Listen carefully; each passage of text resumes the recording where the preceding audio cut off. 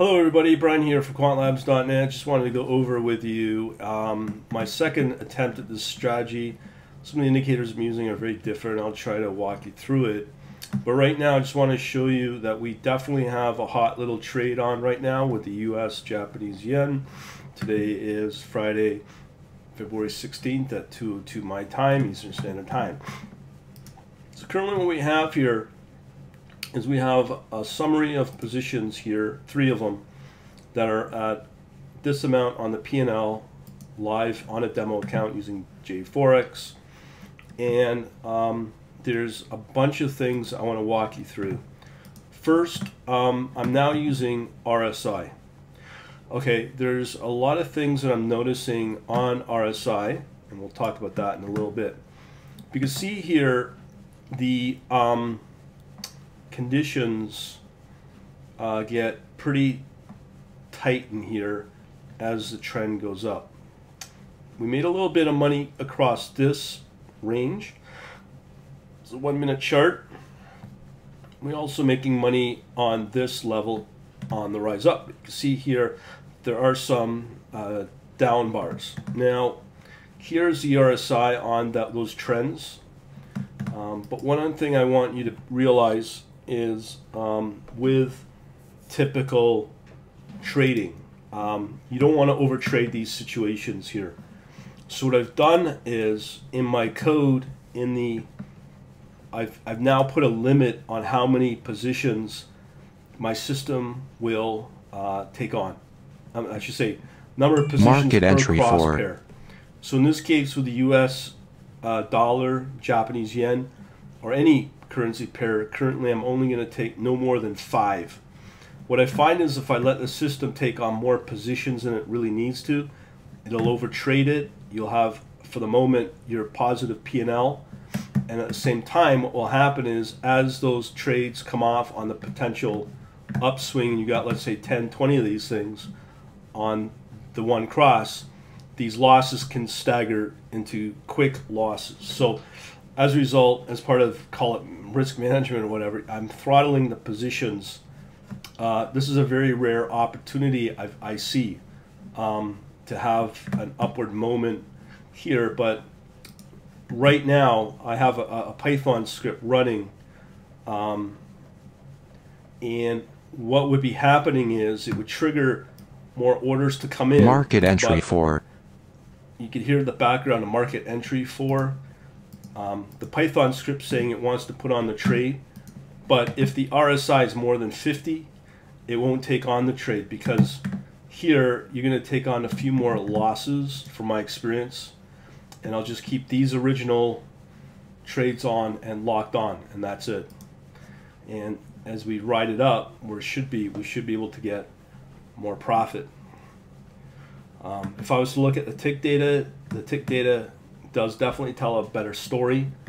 Um, but you have seen that here this P&L real time uh, from the broker can change literally on a micro level. As you can see there like 30 cents in seconds. So the closing logic or the exit logic may need to be put on the tick um, event or tick method not on the bar method.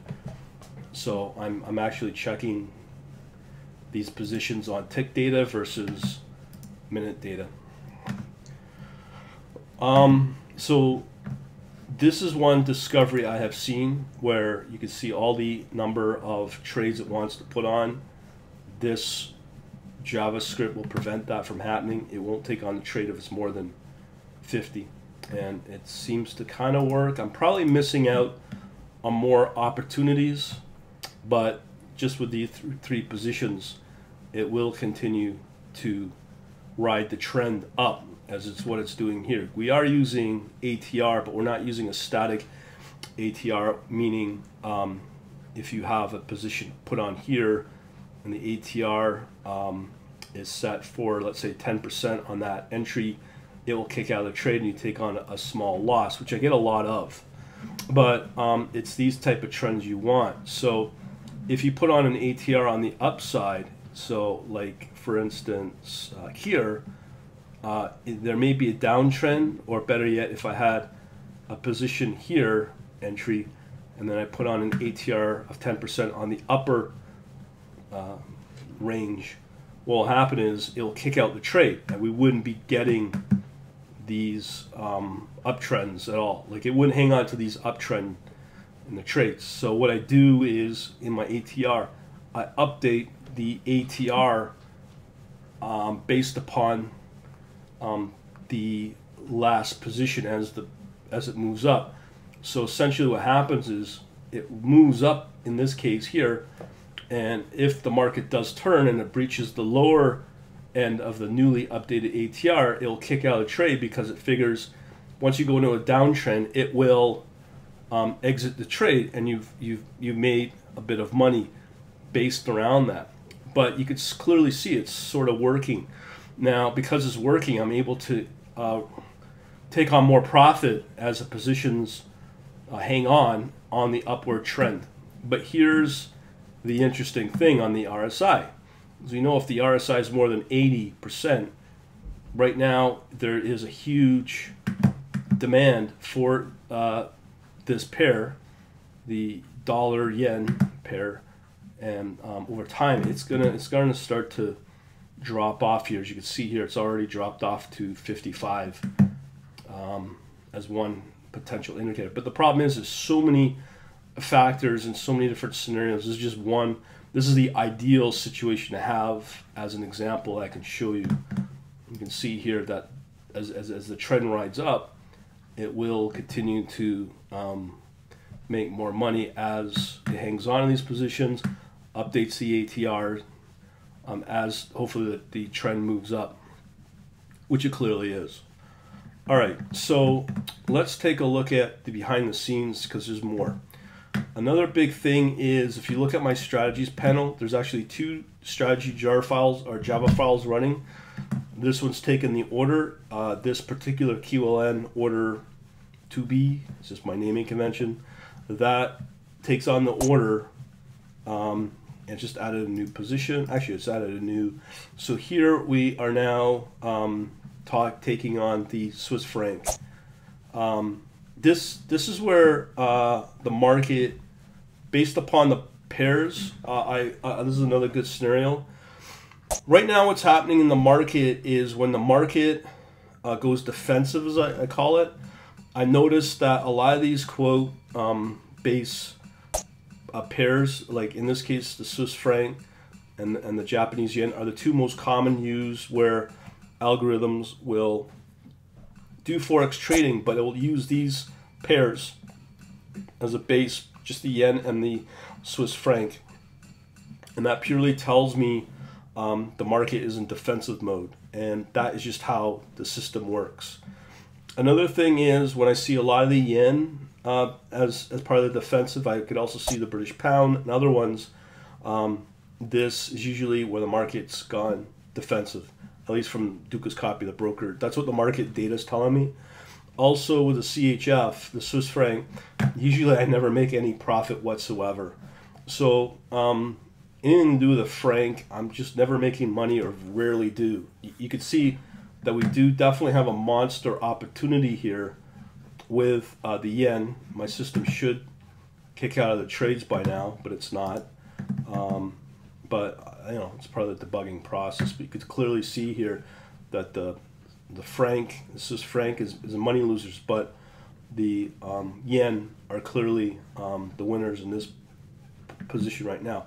Now, as I said, we've gone defensive right now. If if the market is taking on risk, I'll usually see like late day yesterday. I'll I'll typically find the USD or the US dollar in, in the base quote is usually telling me, and, and a lot of them, that uh, the market risk is on and the market's on an, on an upswing. Um, so you'll see more USD on that side. Um, so it looks like it closed out some positions. Now I just want to show you here, I'm only subscribed to four um, pairs right now. Um, and uh, uh, my other system on my Windows will do 40. I haven't tried that yet, but I'm just testing it on this Mac laptop with limited memory.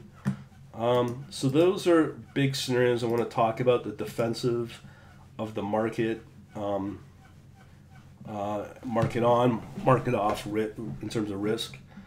Um, so yeah, so we'll let we'll let this ride. Another thing I'm also noticing is the use margin um, because I'm not applying any stop losses on these positions. I'm only using ATR as my virtual stop loss. Uh, the question becomes on the use margin, does the use margin go up for each trade, each position I take on? Does that margin go up because it's a higher risk for the broker um, because they don't know what my stop loss will be because I'm not triggering that on the API level. So uh, that's a question I'd like to know if uh, margin does go up because the risk goes up higher for the broker. They don't know my stop loss, so that might be a negative if you're not telling your broker the stop loss that you want to use and you both take profit and your stop loss in, in, in your positions via manual trades or uh, automated trades through the API. Um, so it looks like, is it taking on more positions or is it unloading more? Um, yeah, so it's unloaded. Actually, yeah, it's just unloaded uh, quite a few. Now, the other thing I should be doing is logging these uh, positions as they take on because I can go through the logs and figure out which uh, are the profitable trades or not when they get closed out. Um, that, that's very helpful. I find that the reports from Dukascopy for this amount of trades um, can get overwhelming and it's very hard to determine what's happening on a individual level of each trade. So that is that. Obviously there are positions being put on on and off. There's just too many of them to track. And as I said, it's better to log them to see what, what's going on. Okay, so let's get behind the scenes. All right, so here we have our um, our Redis. Now let me show you something that's very helpful. Um, if I go into my uh, folder here, my my home directory, um, just find it and here. Um, what I've done, and it's more reliable now, uh, is is storing all the data. Let me just see here if I have it. Um, Let's see. I know it's in here. Oh, here we go. Okay, so right now, this script right here. Okay, let me just walk you through what's happening. This, uh, like I said, there's two strategies. There's this one, and then there's this one, the first one, which is exporting to multiple CSVs, CSV files, comma subverted values, boom, boom, boom, boom. You can find easily examples of that online um, through the Dukascopy um, examples on the API.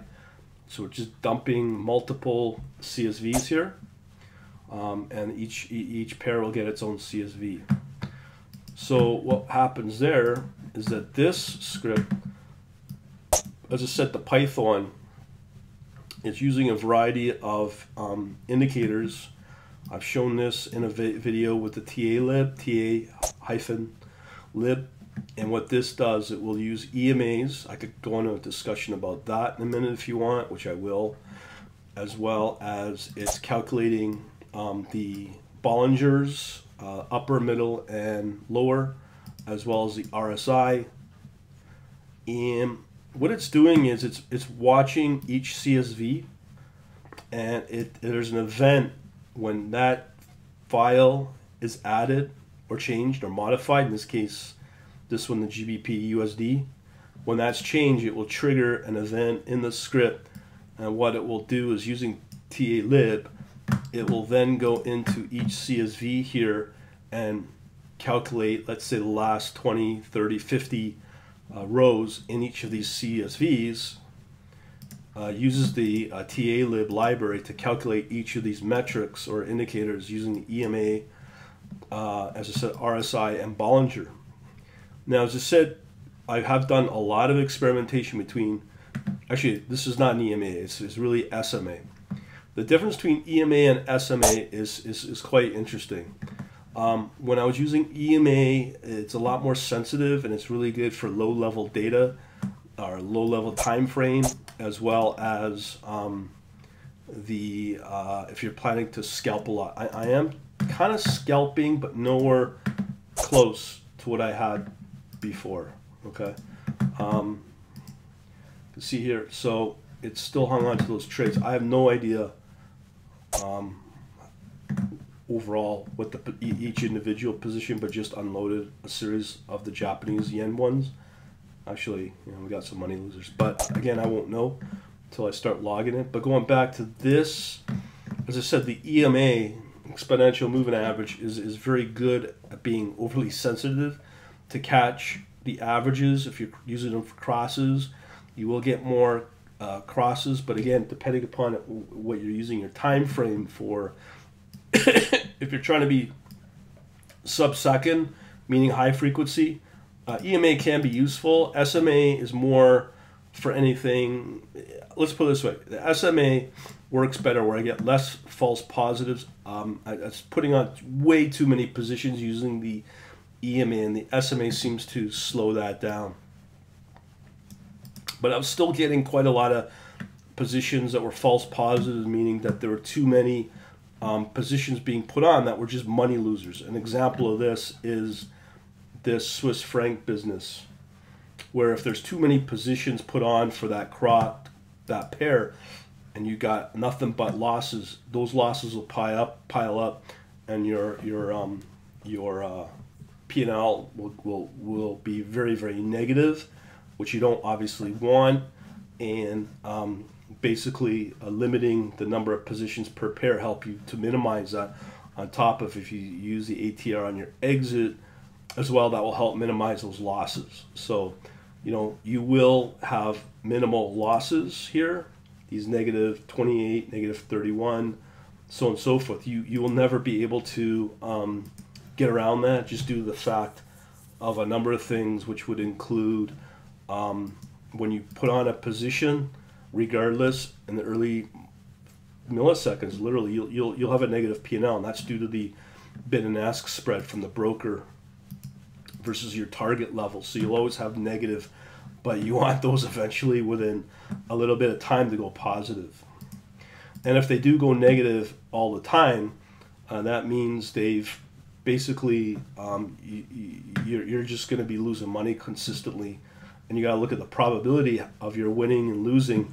And if you have 75% losing, you you will you will lose market entry for but all the time, which you don't want. So you're trying to prevent those scenarios from happening. So here we could just see that the, finally the, the franc has gone positive. So because it's hanging on to those trades, that's good. Okay. So that's what we're trying to prevent is, is, is having as few. So we have now, so the market now has gone, taken on a bit of risk because now you're starting to see the USD in the um, in the uh, base here, and you can see, voila, right out of the get-go, it was positive. And let's see if we could find, so we have two positions that have gone positive right out of the get-go. That is very rare. So if I look at that um, pair, let me just see what we got going on here. Um, Market entry for. So again, this, this the market changes so fast. So you can see here, somewhere in here, here is the position. So it just took on these positions because there was an uptrend, and I bet you my system caught it, and then now it's probably thinking, oh, it's going to be a consistent uh, uptrend. The this this Swiss franc should have been dumped by now, um, if you ask me. Let me just see how many positions we have um, for the franc. So we have two positions. Um, so we had four positions. Uh, hang on here. Let's see here. We got four, three positions. So they've all gone, yeah, negative. Boom, boom, boom. Yeah, not too good. Anyways, that comes back to what I was saying before. On the EMAs, they're way too sensitive for this type of trading.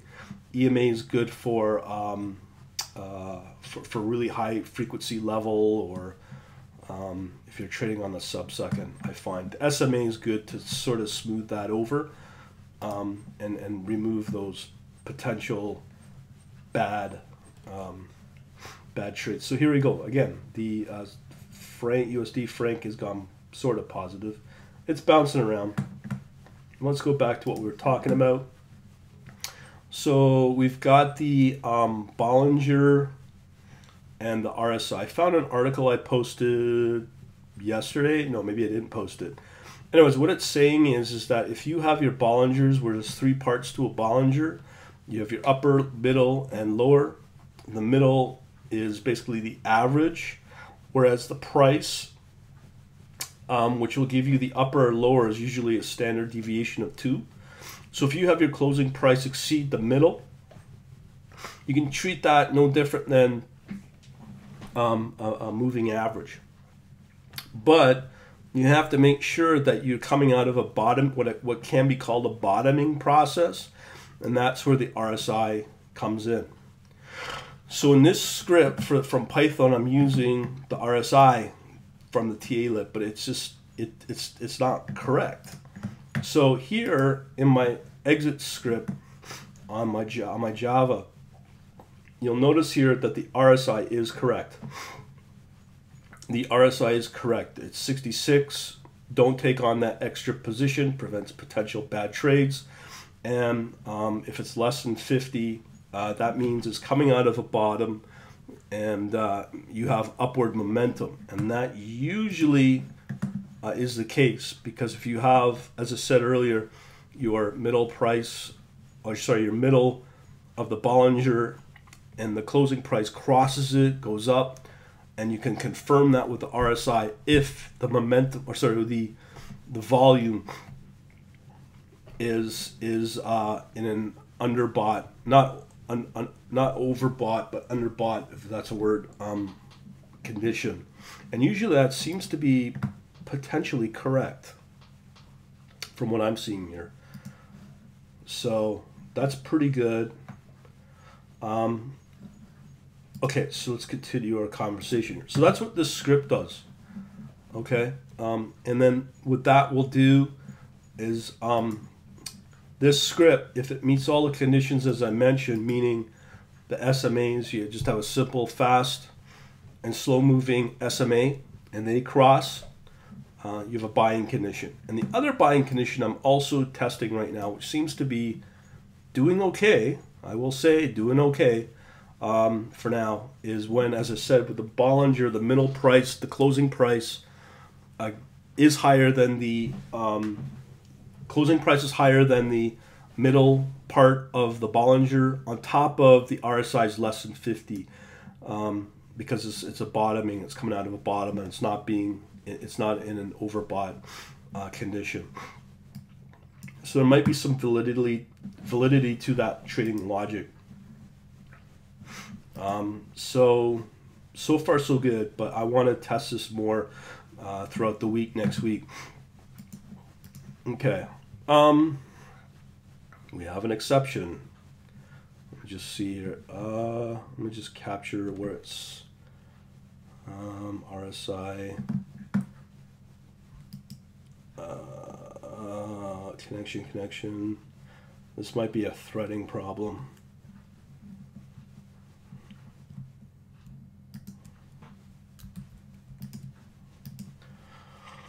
Okay, let me just see what's going on here. Um, okay, so this is where the logging in a file is helpful. Um, I can't stress the importance of that, but I've never seen these exceptions. I'll attack these later on. Already is in use. Oh, so we have, looks like potentially some form of uh, multi-threading going on with being challenged with the um, Redis. Yeah, that's probably what it is. Already in use. So we have conflicts with the Redis. Anyways, I'll address that later.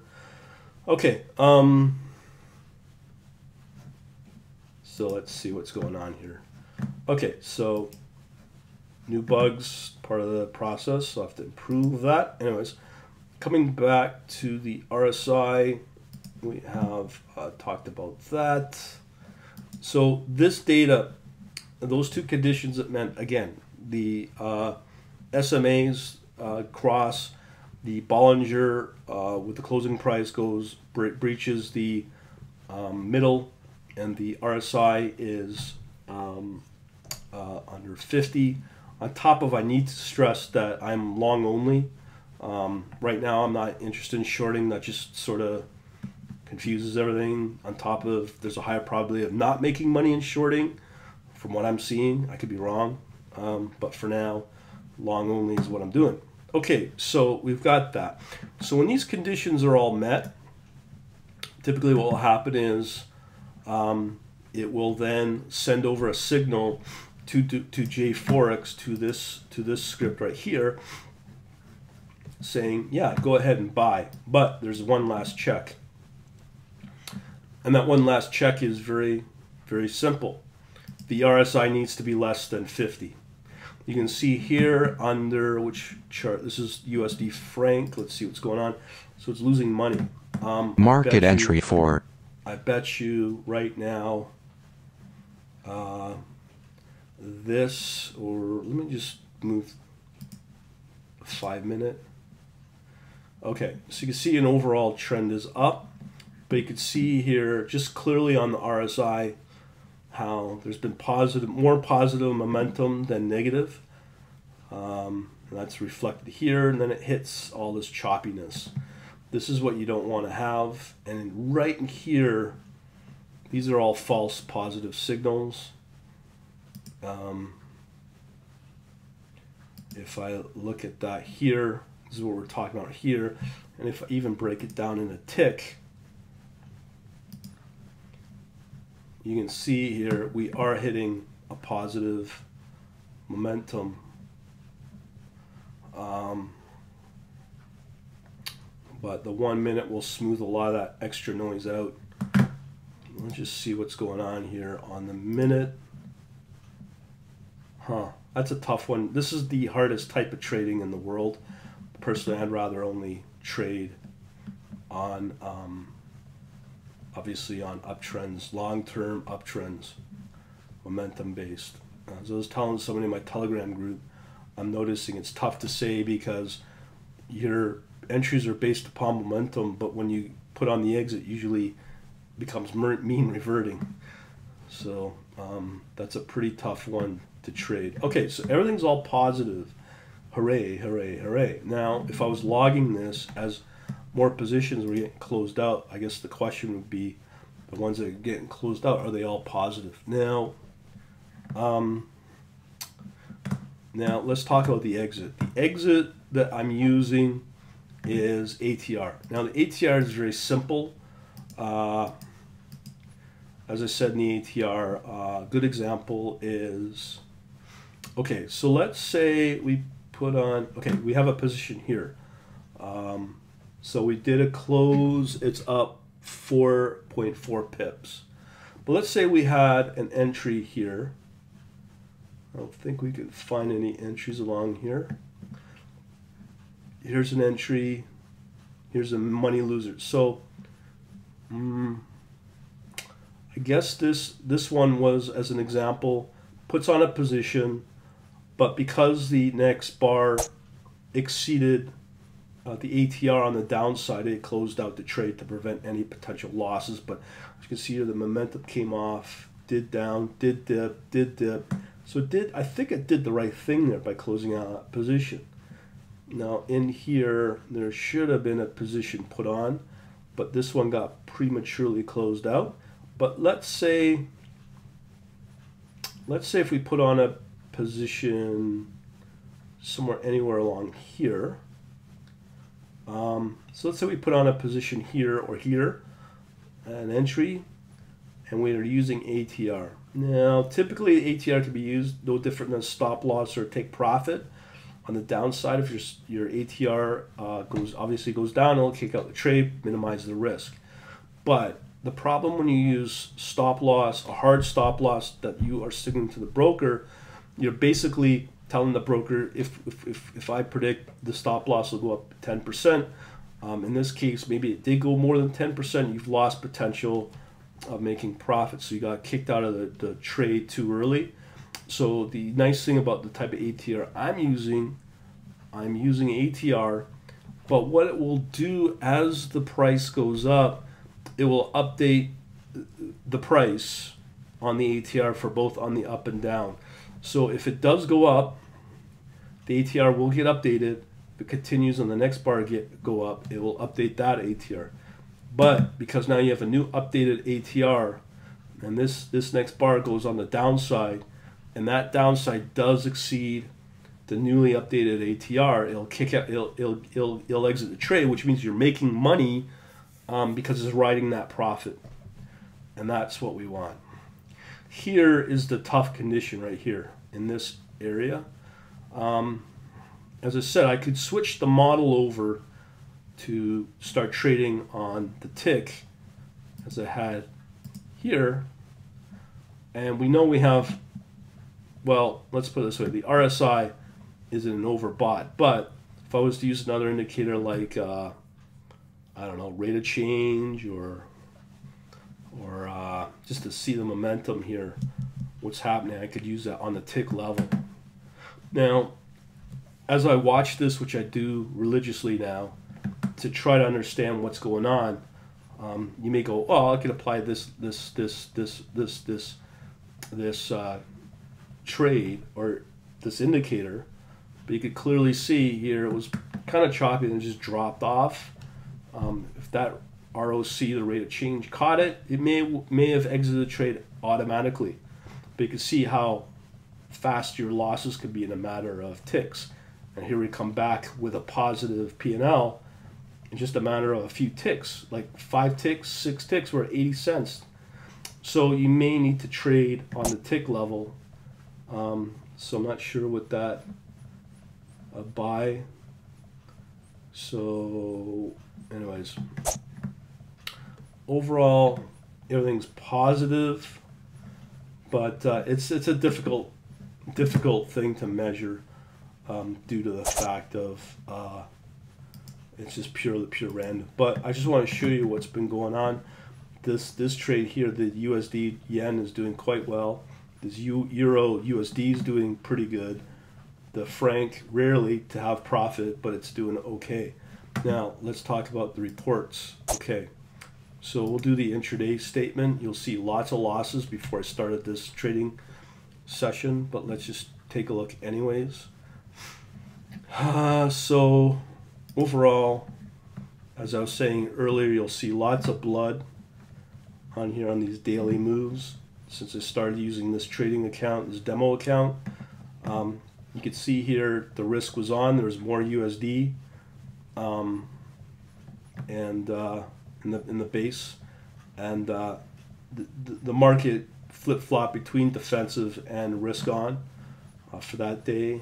Uh, this one there's just if I was to break down the uh, levels of why there's so many losses, that all came back to the SMA and was doing that. Um, you do have some overall overall. So it's today the 14th, which was yesterday, actually two days ago. Um, but uh, overall, there's just too many losing trades, and, and that's what we obviously don't want. Um, so as of today, let's see here. So today today's not bad. Um, actually, we're losing a lot here as well. So um, yeah, that's from probably yes early yesterday. But this this Euro USD has been doing okay. And the market's going to tell you what to trade as well. But uh, okay, so if I go into intraday statement or maybe better yet, the position report. Let's see over. Hang on here. Um, these these. Okay, so we want um, as of today. So these are yeah uh, two days ago, which we don't want. We don't care about any of this stuff. There's lots of losing trades. But after I applied this new trading logic using these indicators as of earlier today on the 16th, um, should. So we are dealing with P&L and commission. Now, overall, let me just see if there's a summary here. Hmm, interesting.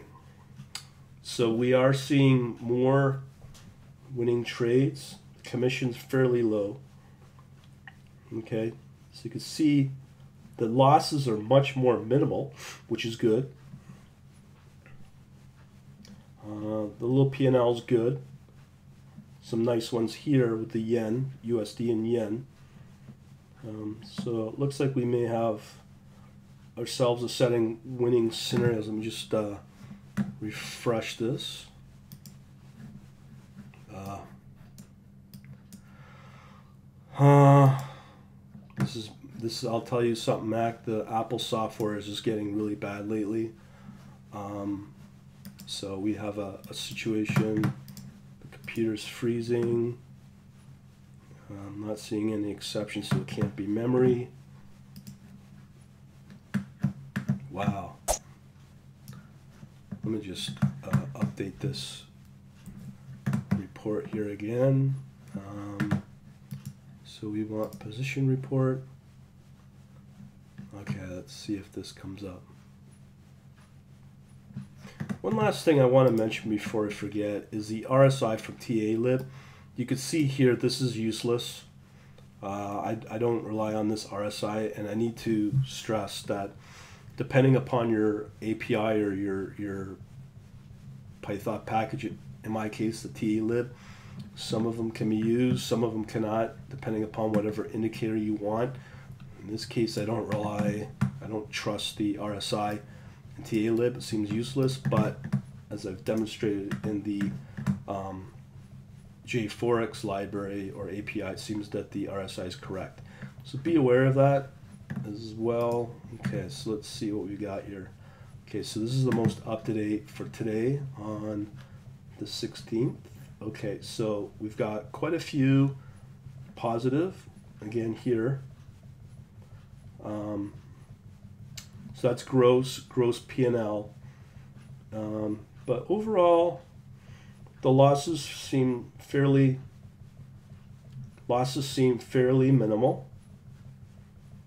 You know, negative five, negative nine cents, negative fourteen cents, which is pretty good.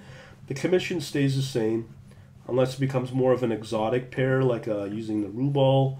I can go up to four cents. That's the highest I've seen. But if it's a stable, popular cross pair, which I'm using here, obviously only the popular ones, the euro, USD, the, the, the Swiss franc, the yen, so on and so forth. But overall, I'm seeing in US dollars some good profit from this trading logic that I am showing you, and some very few negative losses. But when you look at it, uh, this is something you also statistically should measure. As I said earlier, if when you use this combination of USD and the Swiss franc, you need to what's the probability of actually getting a profitable trade with this pair?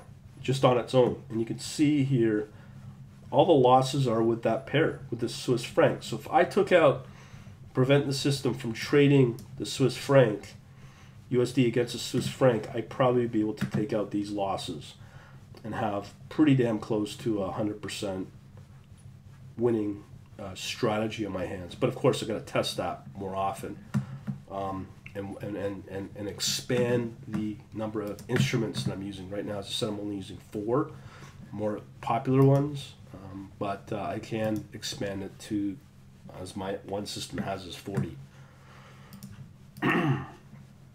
so it's quite interesting. Uh, let's see how our summary is doing. Nice. These are good. These are awesome. And we actually got winning conditions on the Swiss franc. So we're doing all right.